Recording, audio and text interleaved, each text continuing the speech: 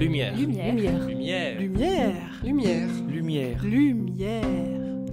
Lumière sur la photonique avec Luc Frely, chargé de recherche CNRS au département optique à l'Institut de recherche FEMTO-ST.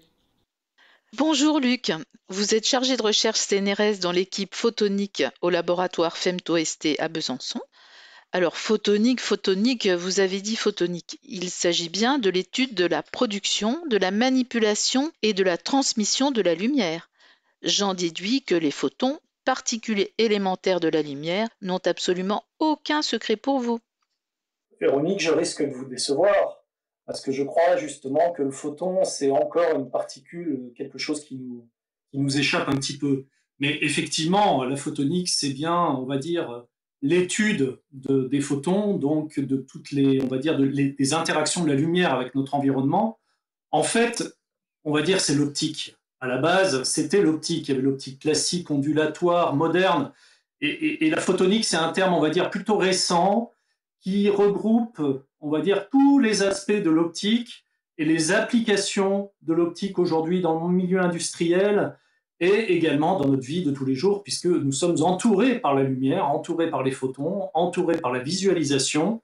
Donc c'est vraiment, on va dire, une vision un peu moderniste et moderne de ce qu'on appelait autrefois l'optique. Voilà. Mais ça reste de l'optique et ça regroupe toutes les applications de l'optique.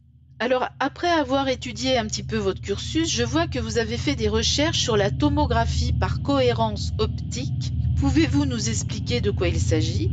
Quel avantage à utiliser cette technologie, par exemple dans le domaine médical ou dans d'autres domaines qu'on ne connaîtrait pas? Voilà, alors peut-être que la meilleure façon d'aborder la tomographie optique, alors déjà, tomo, ça vient d'un mot grec, hein, tomos, euh, qui nous fait penser aussi à topos, topographie.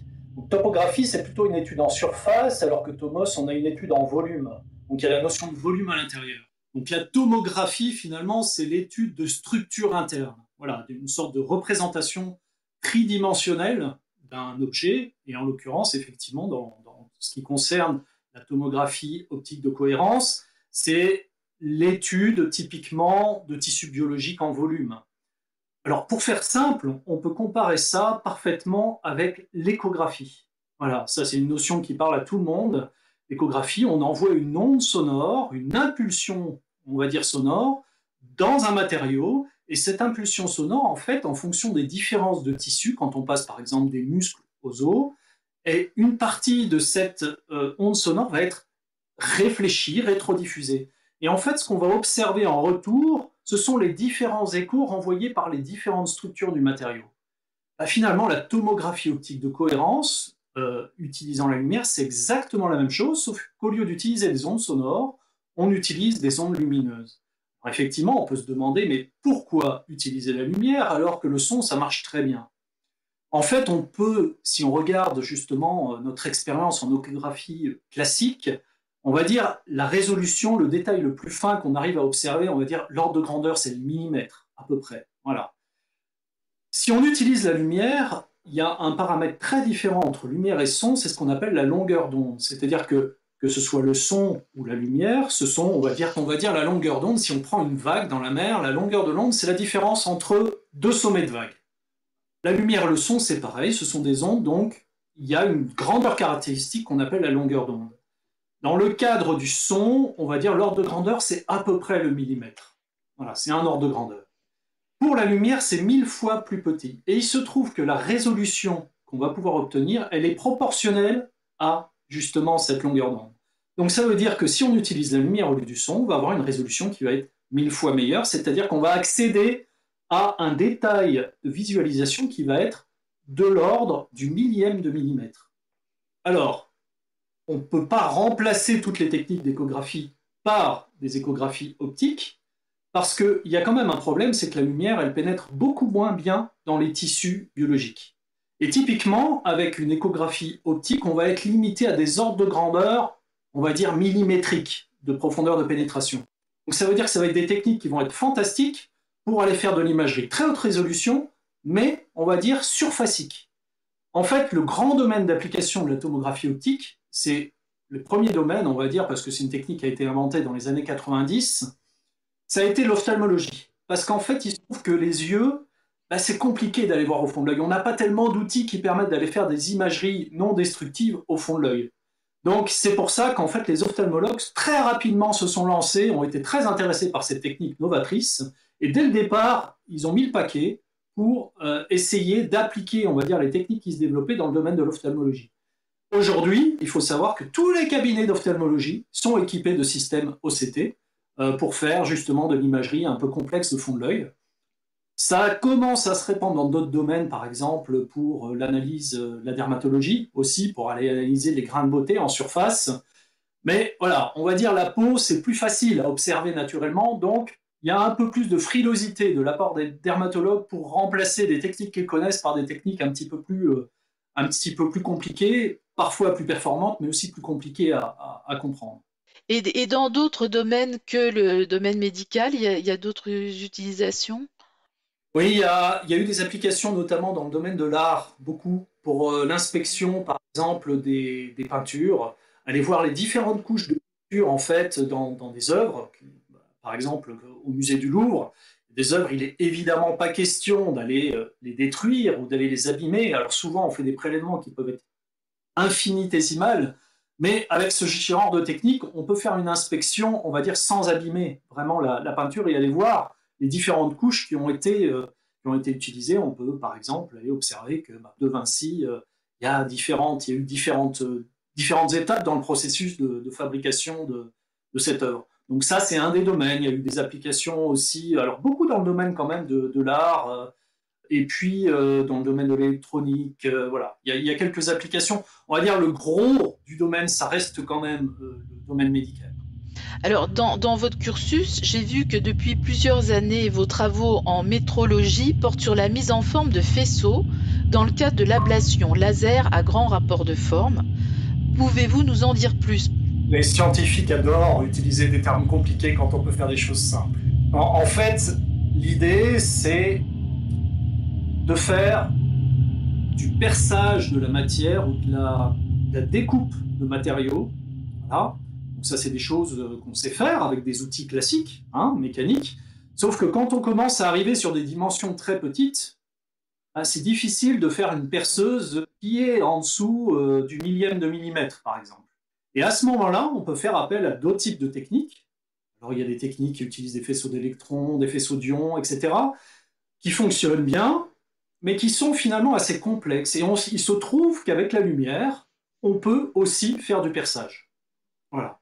Si on utilise des lasers extrêmement puissants, ce qu'on appelle des lasers femtosecondes, qui envoient des impulsions très courtes dans la matière, on obtient des processus tout à fait étonnants, qu'on appelle l'ablation laser, qui vont être capables d'éjecter la matière. Et comme quand on focalise un faisceau lumineux, on peut arriver à obtenir des dimensions qui sont submicrométriques ou micrométriques, on peut réussir à faire de la découpe justement extrêmement précise avec ce type de faisceau. Alors la notion de très haut rapport de forme, en fait, c'est lié au fait que le problème, c'est quand on focalise un faisceau laser, en fait, il n'y a qu'un tout petit volume, un tout petit point, on va dire, pour simplifier, euh, qui va vraiment être affecté et qui va être ablaté. Et ce qu'on voudrait, c'est réussir à faire finalement à la fois quelque chose de très étroit, mais aussi très long, très profond.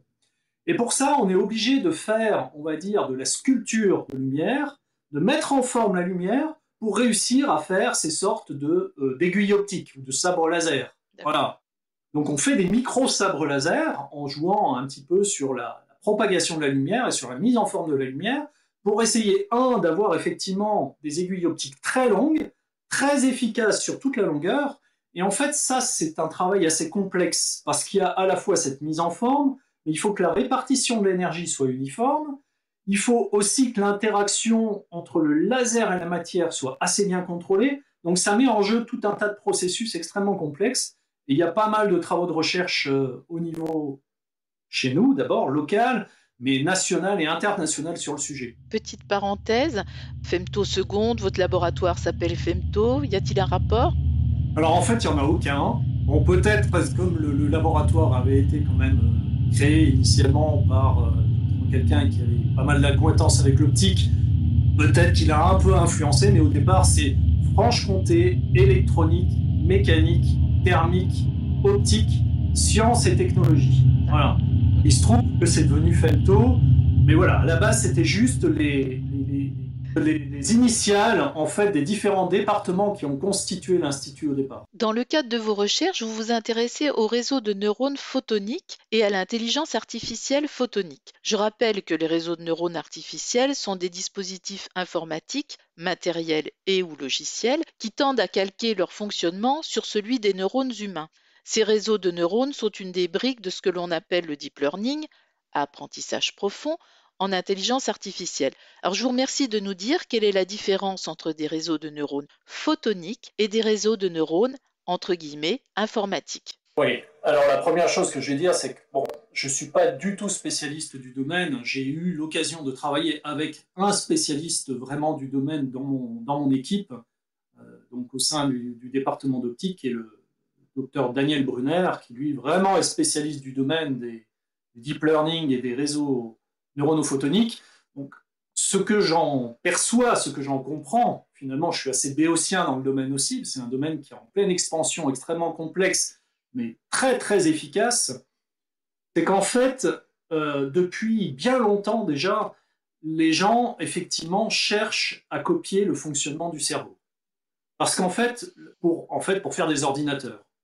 Parce qu'en fait, le truc, c'est que le cerveau, il est extrêmement efficace en consommation énergétique savoir qu'un cerveau consomme à peu près 20 watts. C'est moins qu'une ampoule. Sauf que pour faire l'équivalent avec des ordinateurs, il y a eu par exemple, en plusieurs cas, euh, il y a un ordinateur euh, IBM Watson avec 90 serveurs en parallèle. Donc euh, un serveur, c'est 1000 watts de consommation. Donc 90, voilà, vous pouvez multiplier. qui avait réussi à battre effectivement des joueurs alors, c'était pas le jeu de Go, là, mais il y a eu aussi le cas avec le jeu de Go, qui avait réussi à battre effectivement des joueurs à je sais plus quel jeu, mais avec une puissance phénoménale de calcul. Le cerveau, c'est 20 watts. Voilà. Donc, il y a ce premier aspect, c'est quelque chose qui est essentiel dans les, qui intéresse dans les réseaux neuronaux, c'est le fait qu'on peut diminuer la consommation à terme. On n'en est pas encore tout à fait là. Alors, la différence après bien sûr, les gens ont commencé à essayer de faire des réseaux neuronaux, à calquer le fonctionnement des neurones et des synapses à partir d'ordinateurs ou de circuits électroniques. Voilà. Mais c'est finalement tout de suite assez complexe parce qu'en fait, le secret euh, du cerveau, c'est que, on va dire, il mélange à la fois l'information de mémoire et l'information de calcul. C'est-à-dire que tout est plus ou moins au même endroit, entre synapses et neurones. Dans un ordinateur, les processeurs, qui sont les calculateurs, sont séparés des zones de mémoire. Et finalement, les transferts d'informations entre les deux, c'est ça qui consomme beaucoup d'énergie. Donc, c'est pour ça que le cerveau est déjà beaucoup plus efficace. Après, la deuxième chose, c'est que la capacité de stockage du cerveau, elle est énorme parce qu'il y a énormément de neurones et de synapses. J'ai lu quelque part, je crois, la capacité, voilà, on a à peu près 10 puissance 15 octets de stockage au niveau du cerveau. C'est l'ensemble de toutes les données web mondiales juste pour donner un ordre de grandeur. Donc on en est encore assez loin, et réaliser finalement des circuits électroniques ou des, systèmes d'ordinateurs qui permettent d'émuler tous ces neurones, ça nécessite une parallélisation énorme. L'intérêt de l'optique, c'est qu'en fait, grâce à la propagation de la lumière, on peut réussir à paralléliser cette information beaucoup plus facilement. Donc c'est une piste, on va dire, extrêmement intéressante. On pourrait se dire, bah, la lumière, ça va aussi beaucoup plus vite que l'électronique. C'est vrai, mais pour l'instant, en fait, ce qui est, on va dire, le facteur un petit peu crucial, c'est surtout cette capacité de parallélisation de l'information. C'est-à-dire à générer, être capable de générer des neurones en parallèle sans augmenter finalement beaucoup justement la consommation énergétique. Et c'est ça qui est un petit peu l'élément clé pour l'instant, on va dire, des réseaux photoniques par rapport aux réseaux classiques. Voilà, si je peux dire ce que j'en perçois. Alors, quels sont vos défis à venir et quels sont vos rêves en termes de photonique? Alors, moi, je suis un, je crois que c'est une des raisons pour laquelle je suis venu à la photonique et à l'optique, c'est je suis un grand amoureux de l'image. Moi, ce qui m'a toujours captivé, je crois, c'est justement les capacités d'imagerie et, on voit l'évolution, que ce soit dans le domaine médical, mais je dirais dans l'infiniment petit comme dans l'infiniment grand. Je ne sais pas si vous avez vu ces derniers temps, mais il y a des avancées dans le domaine de l'astrophysique qui sont phénoménales parce que justement, on commence à avoir des retours de, bah, du Very Large Telescope, par exemple, et de tous, tous ces réseaux euh, d'imagerie euh, qui permettent en fait de, commencer à aller jusqu'à 13 milliards d'années, donc on n'est pas si loin de l'origine qui était à peu près à 13,8 milliards d'années. On va de plus en plus loin parce qu'on a des systèmes d'imagerie qui sont de plus en plus performants. Mais en fait, c'est exactement la même chose du côté de l'infiniment petit. C'est-à-dire qu'on a des techniques aujourd'hui d'imagerie qui vont toujours plus loin, toujours plus petit, avec toujours plus de détails. Et finalement, les deux infinis se rejoignent. C'est presque du Pascal, voilà, les deux infinis se rejoignent à ce niveau-là. Et ça, c'est quelque chose, moi, qui personnellement me fascine. Après, je dirais, dans, ce métier euh, autour de la photonique, moi, ce que j'aime, c'est aussi euh, voir toutes les applications potentielles d'un domaine particulier dans plein d'interactions, que ce soit dans le domaine du bois. Là, on commence à développer des, collaborations avec des gens qui s'intéressent au bois. Voilà. Et, de voir à quel point l'imagerie, la photonique est présente partout.